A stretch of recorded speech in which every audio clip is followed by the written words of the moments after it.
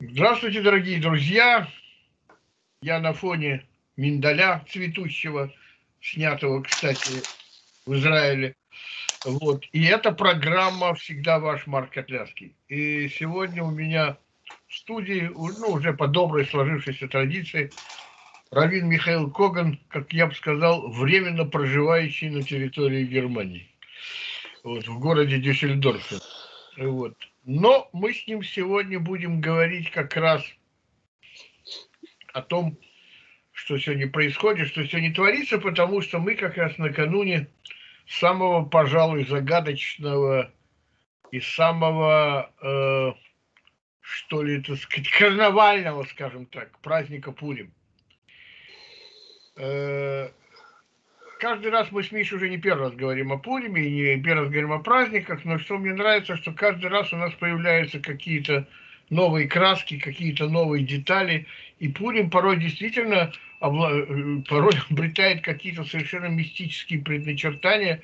Сейчас у меня такое ощущение, что вот я смотрел соцсети, Миша, да, такое ощущение, что весь мир смотрит именно на евреев, потому что, так сказать, э, э, в Пурим всегда что-то происходит, такое, какие-то знаковые события, во всяком случае, там, скажем, там, смерть э, Сталина, там, или, кстати, да, в Пурим же был, закончилась эта война в Персидском заливе, то есть еще каких-то ряд знаковых событий, и все ждут, что что-то произойдет. Миша, так произойдет что-то или нет? Ну, произойдет в любом случае, это сто процентов, да? А, но то вот мне очень понравилось то, что ты сказал, что вот э, каждый раз, когда мы с тобой разговариваем по этому празднике, вдруг открывается совершенно невероятная сторона этого праздника. Да, как стели неведомая, неведомая. неведомая. Да, да.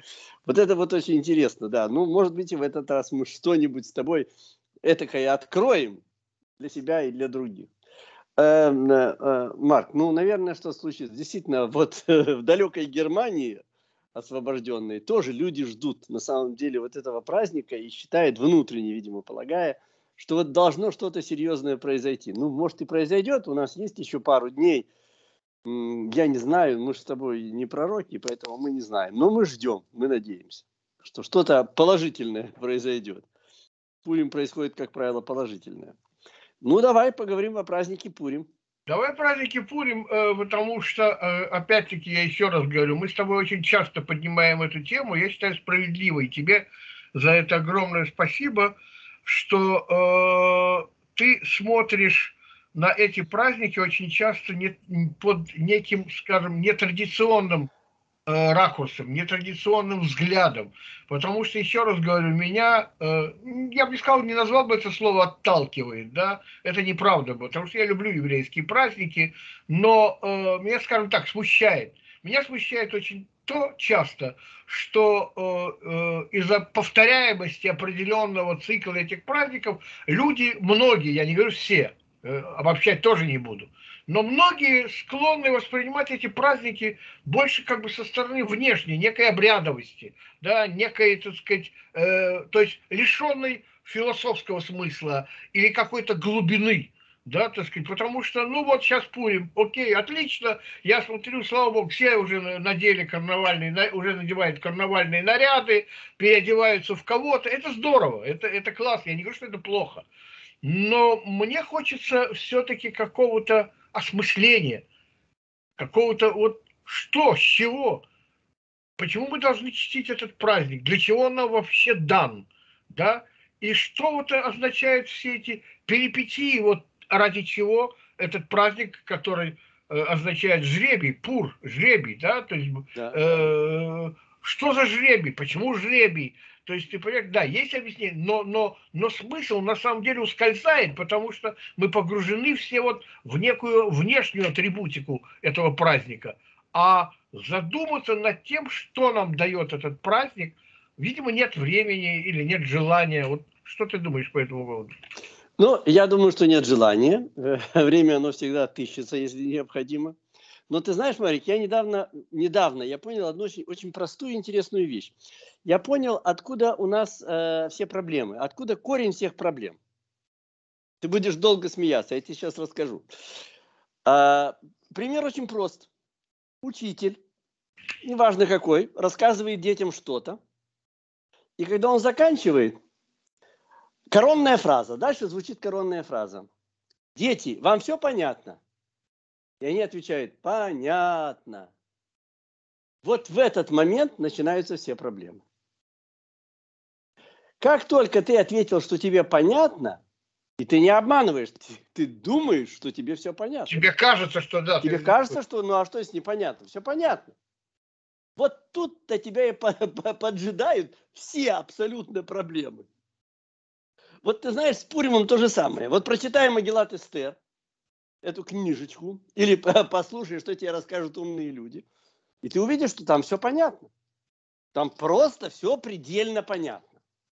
Ситуация, которая происходит где-то там в Персидской империи, какой-то период времени, э, евреи живут, э, э, как-то живут по-разному, кто-то нас не любит, кто-то нас любит, происходят некие события, э, мы подвергаемся опасности, мы пытаемся ну, выкрутиться, выжить, я не знаю, выстоять, что-то делаем. Ну и в конце концов удача поворачивается к нам, и все заканчивается благополучно. Да? Нас хотели ну, убить, мы э, выстояли и пошли пообедать. То есть, ну, что там непонятного? Абсолютно все понятно. И вот когда мы говорим абсолютно все понятно, вот все проблемы начинаются в этот момент. Причем, ты знаешь, это в любом, в любом событии. Возьми самые актуальные вот те, что сейчас происходит на Украине. Скажи, ребят, все понятно, там все понятно. И вот как только скажешь, что тебе все понятно, тут же влипнешь по, по, по полной. Так вот, я себе сразу говорю, мне в Пуриме очень многое непонятно. Просто такое количество вопросов, что, э, я не знаю, надо схватиться за голову и сказать, ребят, ну все, я перестал что-либо понимать. Об ну, во-первых, да, мы же исходим с того, что этот текст включен в Священное Писание, да, он Танах. Танах, Танах, Танах. И ни разу имени Всевышнего, ни одного имени Всевышнего ни разу не упоминается в священном тексте.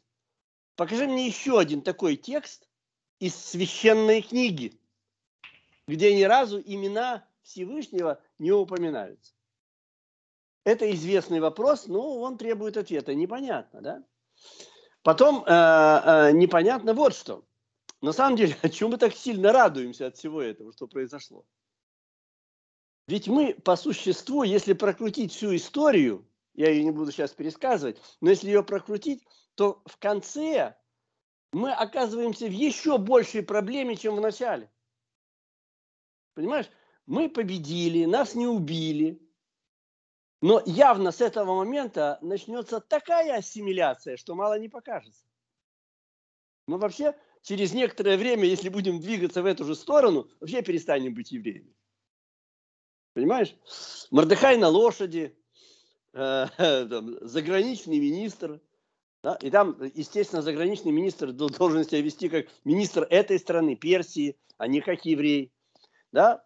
Интересы столкнутся, и он забудет, что он еврей. Э, еврейская девочка Эстер вышла замуж за Гоя и радуется вовсю.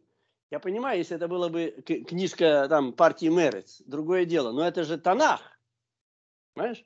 И, и Танах говорит, да, нормально, нормально, никто даже не, не сомневается, все нормально. А потом, э, какие правила в этом празднике? Евреи говорят – вы должны в этот праздник быть той фикер, как говорят и Афидыш. Пьяные в стельку, ребята. Евреи пьяные в стельку. Это вы когда, где вы это видели и где вы это слышали? Понимаешь? Ну да, меня, кстати, это? извини, Мишка, перебью, да, извини, дорогой. Вот да. эта вот фраза, да, меня тоже всегда, так сказать, вызывала сомнение э, и, и непонятку. Напиться так, чтобы не отличать Аману от Мордыха. Это почему? Значит, если, я, если, если подумать, да, Мишка, если я не буду отличать Амана от Мордыхая, значит, я, условно говоря, не буду отличать плохое от хорошего. Конечно, добро и зло у тебя создаются вместе, да? в экстазе. Они у меня сливаются, так а, а что же в этом хорошего-то? Да, естественно, ты не будешь знать, кто хороший, кто плохой. Все ну, люди да. братья, обнимемся, поцелуемся. Окей, обнимемся и пойдем да, с да, тем и... шаманом, который меня на следующий день, там были через два часа, меня, так сказать, может вздернуть, вздернуть да? на, первый попросу. Да. Видишь, это если мы немножечко с тобой подумали, у нас уже возникает масса вопросов. Да? То есть, когда мы вот эти вот все вот непонятные, непонятности перечисляем, мы, мы видим, что, э, видимо, от нас хотят что-то скрыть очень важное. О. Поэтому нам говорят, ребята, вам все понятно? Мы говорим, да, конечно, конечно. Да, и, и все. И в этот момент, да, да, мы должны заняться чем-то другим, там пойти на кухню, сделать кофейку. Все, мы забыли все. И, понимаешь, главное, что вот э, большинство людей к этому празднику именно так относятся. Самое тяжелое – это найти правильную маску и привести там ребеночка в синагогу или в дом культуры, чтобы ему дали правильный подарок за тот, который ты заплатил, а не другой, понимаешь? А, и чтобы все были радостны. Ну и ты, чтобы там посидел, покушал немножечко там, выпил с друзьями, закусил. Тоже хорошо, тоже хорошо. Ну какое это отношение имеет к религиозному празднику Пурим? Мне скажут, не, не, он не религиозный. Ребята, он религиозный, он в Танахе. Он в Священном Писании. Что вы хотите? В Священном Писании нет нерелигиозных. Там все религиозные. Вот давай попытаемся в этом разобраться. Давай, давай. Давай, смотри. Я исхожу из очень простой логики. А, смысл всегда в конце предложения. Вот если ты строишь какой-то сюжет, то а, если ты вначале расскажешь там, кто украл, то о чем ты будешь писать дальше? Значит, э, не о чем. Детектив не состоялся. А, э, кто убил, должно быть известно в конце. Пурим – последний праздник э, в годичном цикле. Вот все праздники, у нас 8 праздников, там 6 из старые, 2 от наших мудрецов, но неважно. Мы празднуем в год 8 праздников. Если Йома Ацмут, то 9. И все равно последний праздник у нас Пурим. Потому что сегодня у нас последний месяц года – Первый праздник у нас Пейсах. Значит, именно в празднике Пурим реализуется вся суть годичных праздников. Вся абсолютно. А, и, и э, здесь очень точно надо понимать, что а, нельзя, допустим, отпраздновать э, праздник Шавуот, а потом, значит, э, праздник Рошашана, а потом праздник Пурим. И считайте, я праздную еврейские праздники. Это как если ты пошел в школу, ты должен отучиться все классы подряд. Иначе в конце ты не получишь аттестат. Тебе скажут, ты пропустил пятый и седьмой класс. Как так может быть? Так и здесь. Когда ты отмечаешь все праздники, ты должен все их отметить. Каждый праздник что-то дает тебе. И в конце Пурим он реализует полностью все. Полностью все реализует. Это первое. И второе. Последнее действие, которое мы должны сделать в праздник Пурим, самое последнее, перед тем, как Пурим заканчивается – то есть между э, полуденной молитвой и вечерней молитвой. вот 17 числа у нас праздник Пурим. Но я говорю э, не про Иерусалим, в Иерусалиме на следующий день. Ну, то же самое. То мы должны э, отмолиться дневную молитву, да, вот полуденную, после полудня. И потом устраивается то, что называется миште, праздник, застолье. Это, это заповедь. И вот тогда ты должен напиться до состояния адлояда до такого состояния, что ты не отличаешь одно вот, зло от добра. От другого, да. Да. Значит, мы можем четко и ясно сказать, что финал всех праздников, финал, это когда ты не можешь отличить добро и зло. А я тебе задаю такой очень простой вопрос. В истории человека был такой момент, когда он не отличал добра и зла. Был. И где это было? В раю. Совершенно верно. Это было в Ган-Эдене. Поэтому вся эта история с деревом, познание добра и зла, потому что он не отличал одно от другого, а нужно было, видимо, отличить как-то, но он не имел этого опыта. В Ган-Эдене нет зла. И поэтому для него добро и зло было абсолютно одинаково. Так же, как и одинаково в человеческий верх и человеческий низ, одно и то же. Поэтому они ходили ногими. У них не было разницы. Значит, вот в этот момент в этот именно момент мы попадаем в состояние, в состояние Ганеден. О, Миша, извини, я тебя перебью. Да. Просто хочется слово вставить. Давай. Знаете, как здорово, Мишка, то, что ты говоришь, уже наполняет совсем другим смыслом этот вопрос. Но мы же его себе не задаем. Ну окей, надо напиться, чтобы не отличать там э, мана от Мордыхая. Напьемся. Да, да, почему нет, да. И будем да. весело, и почему нет, да. Но ведь то, что ты говоришь, это вкладывает совсем иной смысл. наполняет этот э, вопрос совсем другим, гораздо более глубоким содержанием, чем просто напиться и не, не отличать одно от другого, да, то есть как бы и отвечает тебе на вопрос, а почему ты должен напиться, чтобы не отличать? Да, и почему ты не должен отличать хорошее от плохого? А оно вот в чем оказывается, вот оно что. Вот, Миша, это, это просто, извини, дорогой, это просто, это, это действительно э, ну, как озарение, как будто, знаешь. Ну да, вот мы с тобой нащупали одну важную точку. То есть в эту секунду, в самый последний момент годичного цикла праздников, мы, по идее, попадаем в состояние, не в Ганеден, а в состояние Ганеден, состояние э, райского сада, где человек не отличал добро от зла. И, видимо, это было сделано неспроста. Ну, естественно, все праздники делал Всевышний, да, он э, делал и нам давал в пользование. Мы от каждого праздника что-то получаем в том числе и от этого праздника. А вся история, на самом деле, вся история человечества – это э, замысел Творца, который воплощается в Ганедене, да? Он там сотворил э, человека, поместил его в определенном месте. Дальше идет некая история, которую мы называем грехопадение, и дальше человек э, изгоняется из Ганедена на землю. И вся последующая история человечества – это попытка вернуться обратно. То есть попытка вернуться домой все делается э, людьми для того, чтобы найти путь обратно домой.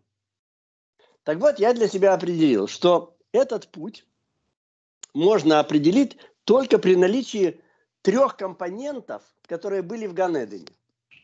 В Ганедене э, э, человек был окружен тремя очень важными вещами.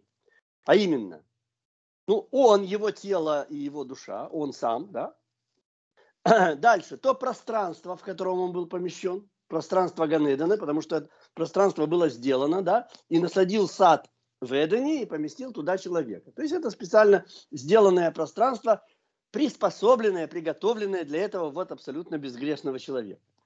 И еще он одну вещь там сделал, он осветил седьмой день. Да?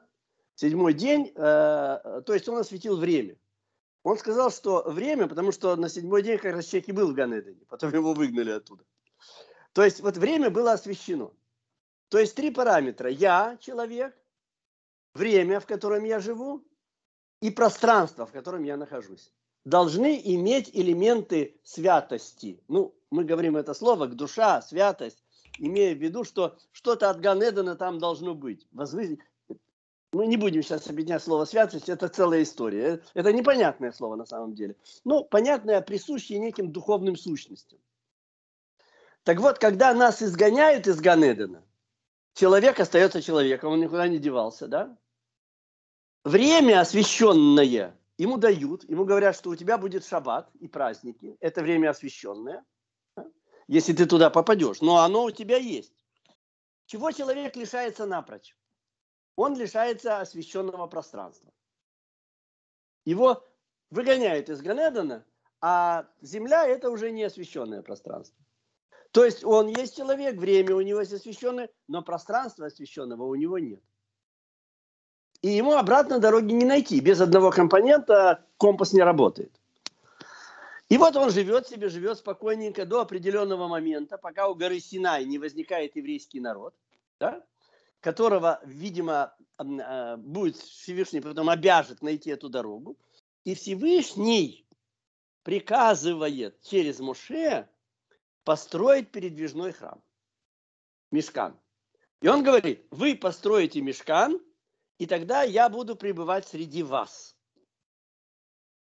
Вот для меня мешкан это как раз и есть попытка выделить некое пространство, которое является освященным. То, что мы утратили, когда нас выгнали из Ганедена. И в дальнейшем действительно и Мешкан, и первый храм, и второй храм будут этими освященными пространствами, которые нам указывают дорогу в Ганеден. Но это процесс. Но там еще другой вопрос возникает. Тогда, по идее, Ган, э, храм не должен быть разрушен. Потому что как только его разрушат, мы снова теряем ориентир. И вот тут начинается самое интересное. Муше спускается со вторыми скрижалями в Йом-Кипур. Первые скрижали он разбил, потому что там они сделали золотого тельца, да? Вторые он приносит в Йом, э, в Йом-Кипур. 10, 10 да. день месяца до Тишрей. На следующий день он говорит, ребята, так, мне велели построить мешкан. Приносите все дорогие, хорошие вещи, я вам сейчас дам список, и мы будем это делать. И прямо на следующий день, 11 Тишрея, народ начинает приносить. Кто что. И начинается приготовление. Там Бецалель и другие начинают готовить элементы мешкана, будущего храма. Так вот, Рабиханина говорит, к первому Адара все элементы были готовы. Просто нужно было бы взять их и собрать. И вдруг Всевышний говорит, знаете что, сейчас месяцок подождете, и первого Ниссана начнете строить мешкан. Вопрос, почему? Зачем нужно было ждать? Ведь их там ничего не держит у этой горы. Они сейчас соберут мешкан, будут увидят, какой он, и двинутся дальше. Им же вы там сидеть не надо. Нет, Всевышний говорит, месяц посидите еще здесь. Зачем? Непонятно зачем. Значит, я делаю уже с первого Ниссана, они там возведут храм, посмотрят, что он такой, освещат, осветили его, ввели туда Аарона и сыновей, началась служба, и они двинулись дальше. Двинулись дальше в сторону Кнаанской земли. Вот этот месяц, исходя из того, что Всевышний велел им повременить, я делаю вывод, ему нужен почему-то месяц Адар. Нужен. Зачем? А дальше делаем еще один ход. Известно, что у горы Синай мы получили Тару.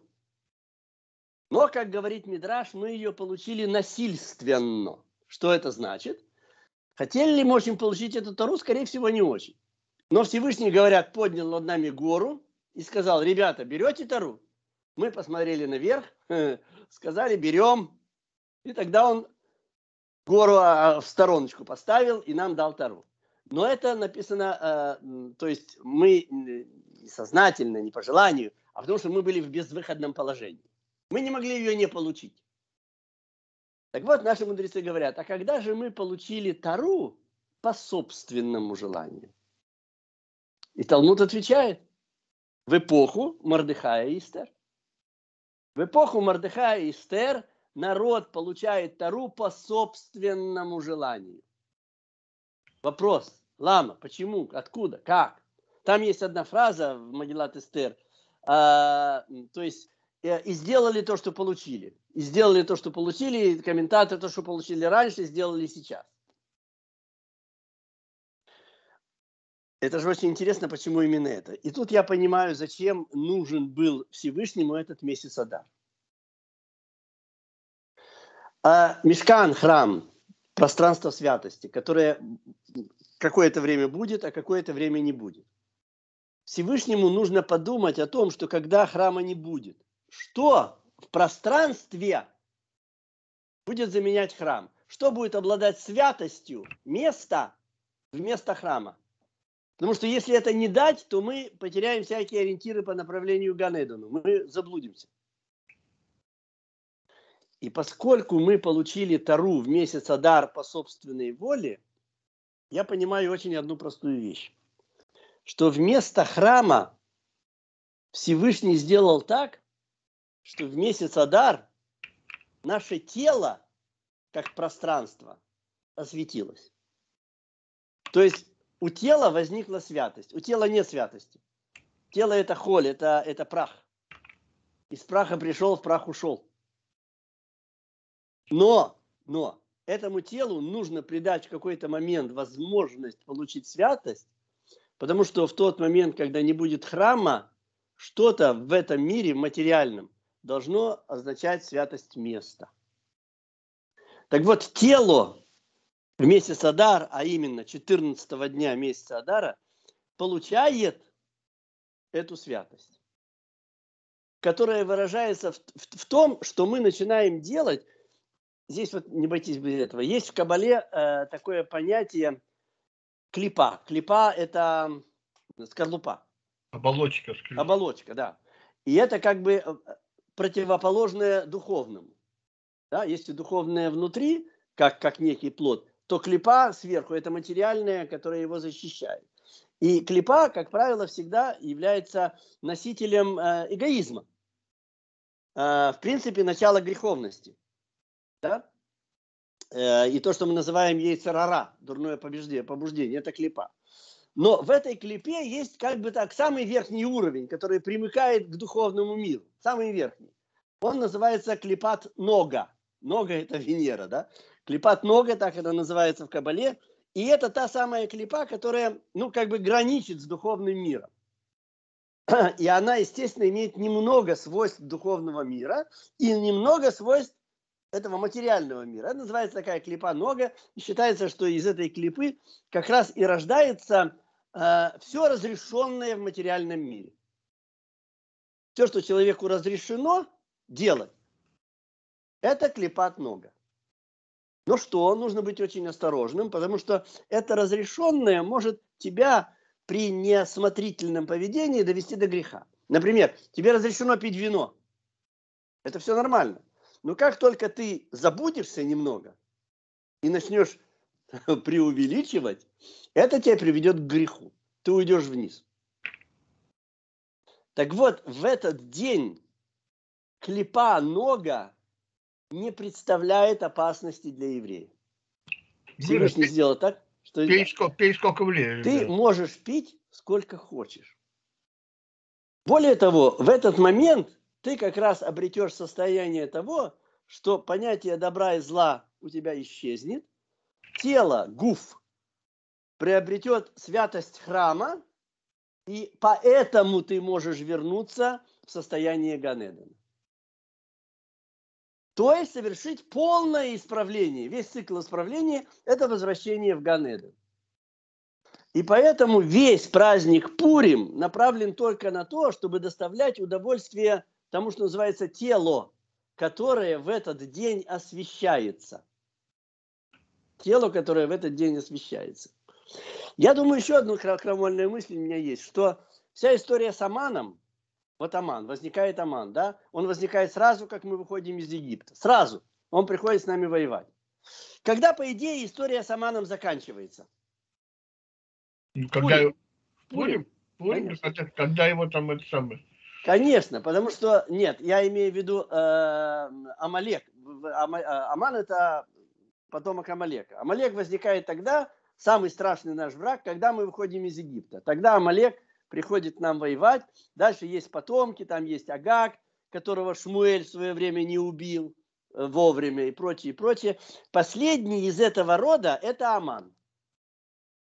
Правда, если ты поговоришь с людьми, тебе скажут, что там Гитлер и Махшму Амалек, правитель России нынешний Амалек. То есть всех плохих людей мы склонны называть Амалеки. Ну, мы можем называть как угодно, что угодно, но реальный потомок, реальный, по тексту, это Аман. После в тексте ни одного потомка Амалека нет. Поэтому я так думаю, что Амалек был создан, придуман, сделан, внедрен только для того, чтобы в определенный момент, чтобы быть на, нашим страшным врагом, и в последний момент через Амана мы достигли бы святости тела, и тогда все закончится. И больше Амалек по существу и Аман не нужны.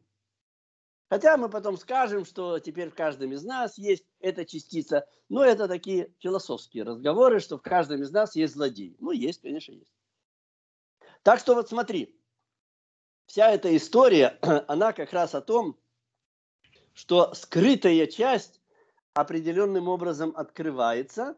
То, что скрыто под личиной, проявляется вовне – и мы на самом-то деле при помощи Всевышнего, осветив тело, получаем все три компонента э, человек, время, место и можем вернуться в Ганеден. И так каждый цикличный, каждый цикл годичный нас потихонечку, по капле приводит к этой точке, и в конце концов, видимо, должно накопиться такое количество, чтобы мы действительно попали туда, куда нужно. То есть, когда количество перейдет в качество, скажем так. Когда количество перейдет в качество, совершенно верно, совершенно верно. И от этого, на самом деле, а, если сделать следующий шаг, мы можем просто прийти к пониманию того, что такое театр в истинном смысле этого слова. Понимаешь? Потому что театр – это, опять-таки, а, когда божество скрывается, и человек пытается э, его восстановить, вообразить. Весь греческий театр, он был как представление божеств. Да? Божества представляли, не люди же там, да? Поэтому у евреев достаточно сложные отношения с театром, поскольку там божества представляются. Вот. Но, в принципе, и Магеллат Эстер – это на самом деле пьеса. Это пьеса, и это еврейский театр, и это тоже понять, э, попытка сокрыть Всевышнего за маской.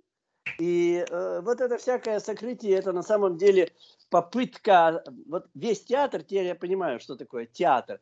Весь театр – это попытка э, осветить тело. То есть материальное э, совместить с духовным. То есть вот это такой праздник Пурим. Театр – это вечный праздник Пурим, который помогает достичь гармонии. Кстати, э, ты сказал в начале нашей беседы, упомянул, что Мегелат Эстер э, имя Всевышнего ни разу не упоминается. Да, ни Почему? разу. Потому что, э, как там ссылается на, на одну строчку из книги, последней книги Дворим, Гастер Гастир по ним. То есть э, от этого Эстер, Эстер, ее имя Эстер, переводится как скрывающее. Да? Мегила, Мегила. Что такое Мегила? Мегила – это свиток. Свиток Эстер, И. Да, да, так нет, в, в этих двух словах есть смысл. А свиток, чтобы узнать, его нужно раскрыть. Могила – это раскрытие, а Эстер – это сокрытие. Легастир – скрыть. Так вот, э, Магеллат Эстер – это открытие скрытого. Да? И в тот момент, когда мы, напившись, не различим добро и зло, для нас это будет абсолютно одинаково. Имя Всевышнего появится у нас. Оно не должно быть в тексте, оно должно быть в нас. Мы должны вернуться в Ганеден. И тогда мы, так сказать, э, напившись до состояния рис, да. да, то есть как бы мы... Э, Отключаем сознание, мы должны отключить сознание. Отключить сознание, и, и в этом бессознательном состоянии мы можем выйти на уровень божественного. Да, тело, тело приобретает, то есть оно может переместиться в Ганеден, потому что оно приобретает уровень святости.